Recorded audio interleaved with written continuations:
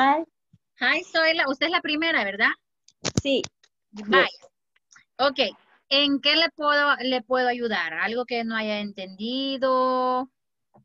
An extra question. Ahorita tiene mm, this time for you. Thank you. Pues por el momento yo no, no tengo así como dudas. No tengo dudas, yo, yo hasta ahorita lo he entendido todo bien. Ok, very good. Eh, ¿Es Ujú. la primera vez que usted este, estudia inglés formalmente? No, o sea, Eh. sí, es, bueno, en la universidad pues yo recibí cuatro inglés, ¿verdad? Cuatro. Cuatro, Entonces, cuatro, pero esto fue hace mucho rato, entonces por eso decidí tomarlo desde, desde, desde el uno. Ah, ok, very good. All right, ¿con el verbo to be no hay ningún problema? No. No. No. All right. Um, let me see. Vamos a ver. Vamos a hacer un pequeño repaso de, de, de eso. ¿O tenía alguna otra duda? ¿De, de No. algún otro tema? No, específico. no. Ahorita vamos bien con la estructuración de, de, de las oraciones. I mean, se ha, se ha entendido todo claro, right? Vaya, me alegro, me alegro. I'm very happy for that. clase. Ah, gracias, sí. Sí, fíjese de que, bueno, son dos horas, ¿verdad? Y, y hay que tratar de hacer lo más ameno posible la, la clase para que el alumno no sienta que el peso de las dos horas. Sí, y de la hora, de 8 a 10. Exacto, sí, porque, porque ya ustedes vienen de trabajar o, o no sé si hacen home, homework o no sé, A mí pero sí me toca viajar y vine ya corriendo y no podía ni entrar, pero. vaya, pero la, la, la felicito porque realmente es una cuestión de, de, de interés, right? Y está muy bien. Ok, vaya, el verb be, yo le explicaba a sus compañeros eh, que en el colegio nosotros nos explicaban el verbo to be así como cero estar, y solo eso nos decían, right? Ah, ajá, correcto. Pero el verbo to be tiene función y tiene forma. En inglés le llaman function and form. O uso y, y, y- y grammar. So, ¿cuál es la función del verbo to be? All right. The function, el verbo to be tiene dos funciones principales. Mm, ya las vimos. Una la vimos directamente y la otra algo indirecta. El primero es to give personal information. Lo que hemos estado haciendo, right? For example, my name is, I am 36 years old, my favorite food is this, my favorite color is this, etc. Entonces, to give personal information. Ese es el primer uso del verbo to be. El segundo uso del verbo to be, que ya lo vimos, pero indirectamente, es para describir, to describe. Y ahí es donde entran en juego los adjetivos. ¿Se acuerda que les enseñé unos? Que estaban así como en letrita roja. Sí, For example, happy, hardworking, um, lovely. ¿De qué otro se acuerda? Vamos a ver. funny. Funny, ajá, what else? Eh, funny, lovely. em, no me acuerdo, pero sí los. Exactly. Y, hay, y, y esos que yo les enseñé son poquitos, porque los adjetivos son bastantes. Son eh, muchos. Entonces, eh, lo que vamos a hacer ahorita eh, es tratar de aprendernos un poquito los adjetivos, ese, ese poquito que, que vimos, right? Ah, sería to describe, se utiliza para describir persona, people, animales, animals, cosas, things, lugares, places. Podemos describir sabores, podemos describir eh, colores, eh, etc. Ocupación. También, all right, Sí. podemos decir mi trabajo es difícil, my job is difficult. Mi trabajo es fácil, my job is easy. y sí, Entonces, eh, al, cuando nosotros tenemos adjetivos, sustantivos, todo lo que nosotros sabemos en Spanish, eso también nos ayuda en English. Algo bien importante de saber es que todos los idiomas comparten la misma estructura. Sujeto, subject, verb y complement. Todos comparten lo mismo. All right? For example, ah, mi mamá es bonita en español. Comenzamos con un sujeto, right? Mi mamá es bonita. Uh, in English, my mom is beautiful. All right, my mom is beautiful. Okay, very good. Uh, let me see, Carla Noemí Salazar, que me está escribiendo ahí. Uh, sí, ok. Eh, ahí le mandaron el link. Como es primera vez, ahí vamos. All right. Entonces decimos, I am a beautiful, a beautiful woman. Y ahí tenemos una oración, right? I am a beautiful woman. Um, my mother is enojada, angry. Mi papá, my father. Is handsome. Ajá, my father is handsome. Y si nos vamos aprendiendo más vocabulario, vamos alimentando más nuestro repertorio, right? Yes, okay, because si alimentamos, if we um, uh, put information in, in, in the description, exactly, okay? Y creo que eso sería como lo, lo, lo, lo que podríamos reforzar. Si usted quiere, puede estudiar vocabulario extra, extra, extra adjectives. Okay? Okay, sí. Okay, very good. Do you have another question? No? No. No, ah, bye. Entonces. Interesting. Ah, all right, very good. Ya cualquier cosa ya saben, ¿ok? Si quiere, este, usted le da a finalizar la, la miren. Ah, ok. Okay, have a good night. Good night, bye, bye. See you tomorrow. Bye, bye. Bye. See you. Bye. Bye.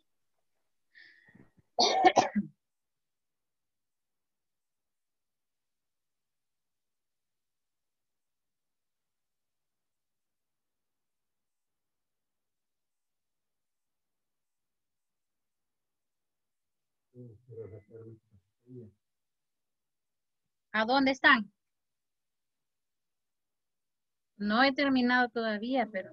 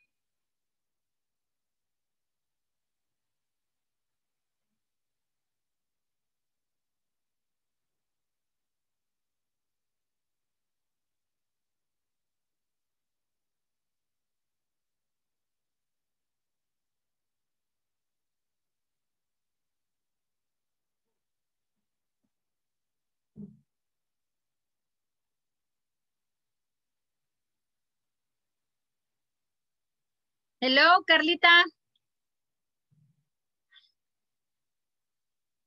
Hi, Carla. No se oye.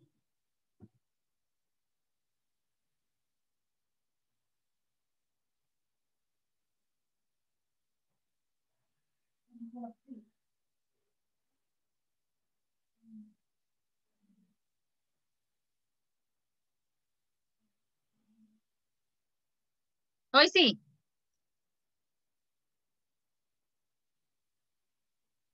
Hoy sí, hoy sí. Hoy sí. Quítele el micrófono, el, el mute. Hoy. Eh, sí. Ay. ok. Tell me. Bye. ¿Alguna duda que tenga, Carlita? Eh, es lo de para conjugar las palabras las oraciones. Ah, lo que me preguntaba, right? Como el verbo, ajá. Ok. Vaya, cuando usted tiene oraciones en inglés, lo primero que vamos a hacer es seguir el orden, ¿ok? Vamos a ocupar, lo primero, un sujeto, a subject. The next one, vamos a ocupar un verbo. Y de último, un complemento. Ok, very good. All right. So, uh, okay. So here, por ejemplo, usted quiere decir mi mamá, my mother. Acuérdese que ahorita estamos trabajando con el verbo to be, all right? Entonces, ahorita lo que nos va a servir es eh, vocabulario que nos va a servir bastante con el verbo to be son los adjetivos. Eh, por ejemplo, beautiful, angry, ah, crazy, etc. Eso nos van a servir ahorita. Más adelante vamos a ver ya verbos. Por ejemplo, pensar, comer, dormir, reír, besar, right, etc. Entonces acá, my mother is beautiful. Entonces acá Beautiful es un adjetivo. Entonces, con verbo to be nos van a servir los adjetivos. Ahora, usted me preguntaba eh, esto, ¿verdad? I am hungry. And I have hunger, ¿verdad que sí? Ya me acuerdo. I remember. All right. So you say, I am hungry. En este caso, vamos a ocupar hungry y, y estamos diciendo, sorry, Estamos diciendo, estoy hambriento, porque acá lo que tenemos es un adjetivo, como tenemos verbo to be, no podemos decir I am hunger, yo soy hambre. No podemos decir así, sino que decimos I am hungry. El adjetivo lo vamos a ocupar con el verbo to be. Ahora, ¿cuál es el sustantivo de hambriento? Es hambre. Entonces decimos I have hunger. Por eso es que decimos yo tengo. I have hunger. ¿Ok? I have hunger. ¿Y si y para, sí, y para hacer la pregunta sería I, ah. I am hungry. No, I'm I hungry. Si usted me la quisiera hacer la pregunta a mí, me diría Espéreme. Si usted me quiere hacer la pregunta a mí, entonces me preguntaría así. Ahorita le escribo.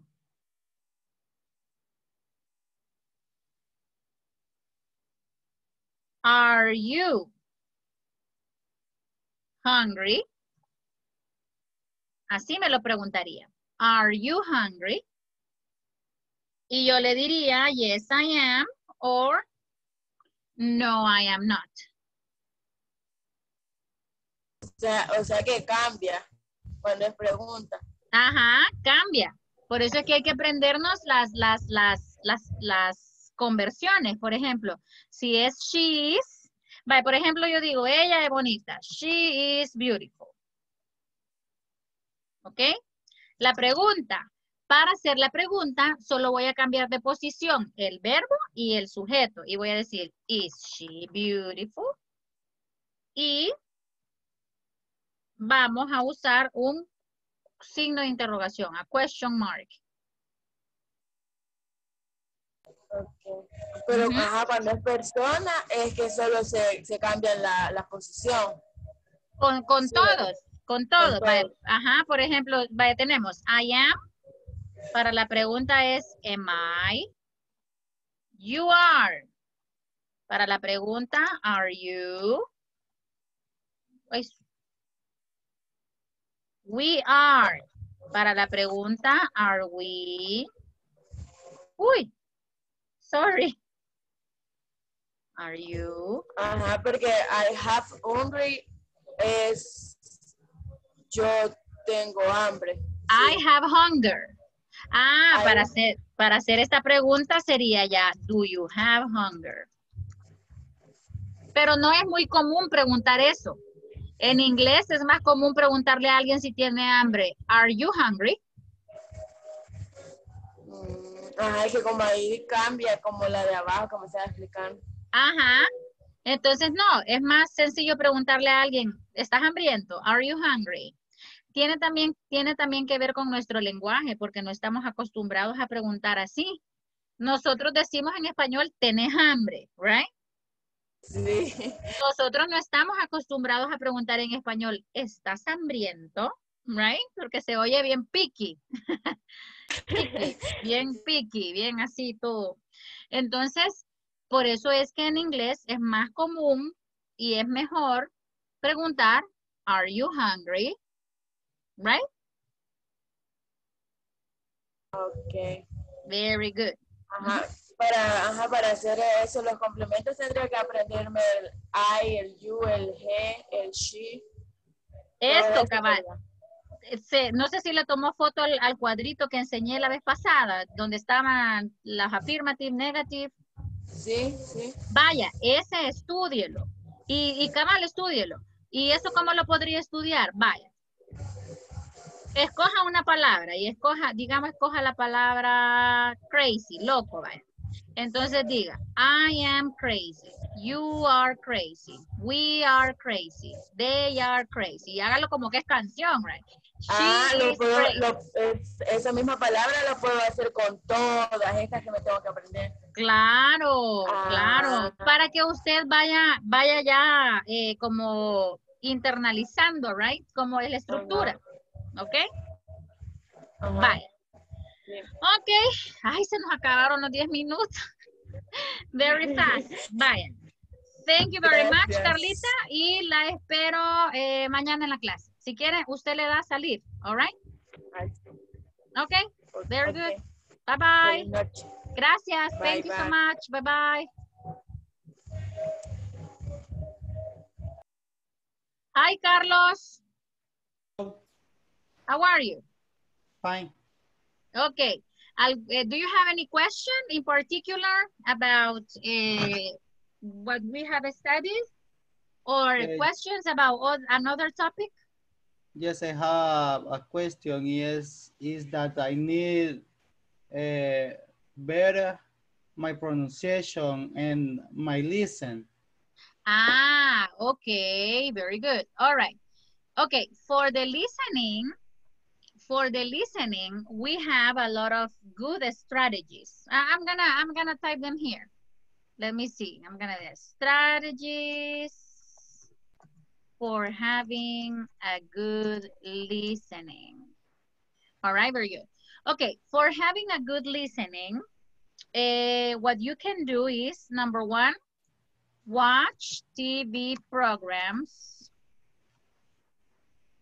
or movies in English. Vaya, yo a mis alumnos siempre les doy un consejo. Vaya, ¿cuál es su película favorita? What's your favorite movie? Mm. Una que haya visto un montón de veces.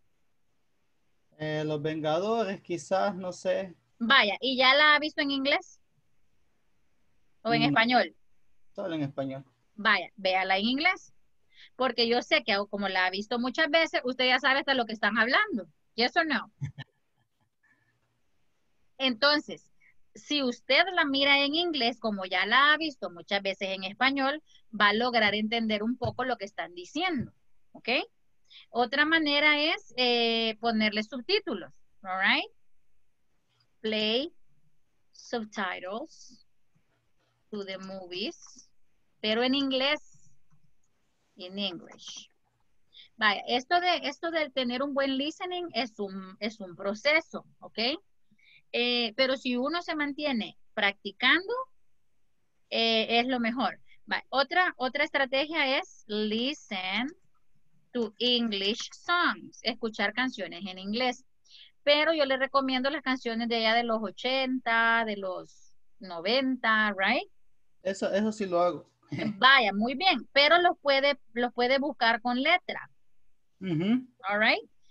Por ejemplo, usted pone una canción y le pone la palabra lyrics. Esta es la palabra, miren, lyrics.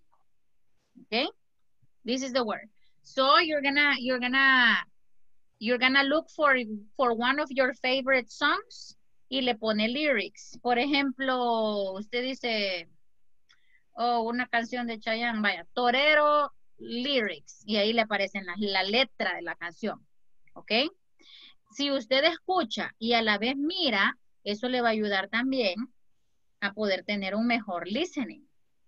Porque lo difícil del listening es que cuando a uno la persona le está hablando, uno no mira escrito lo que la persona está diciendo, ¿yes or no?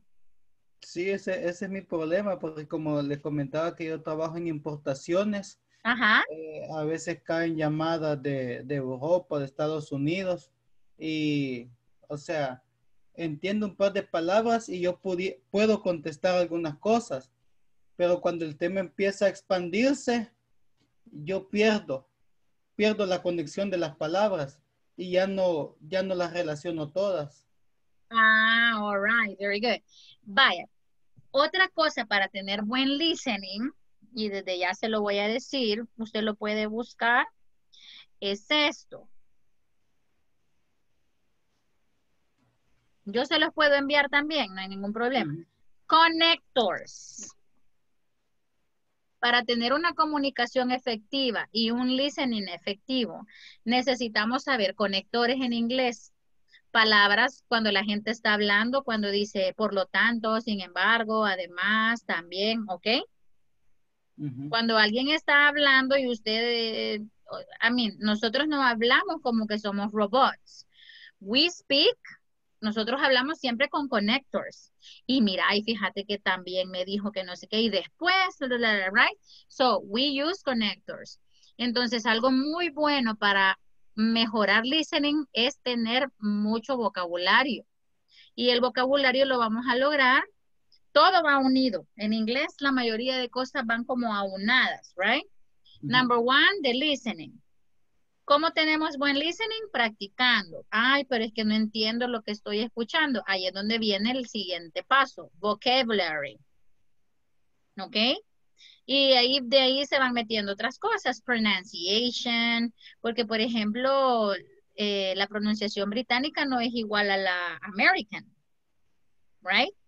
Entonces, ahí es donde viene que uno tiene que practicar, escuchar diferentes, diferentes cosas, ¿ok?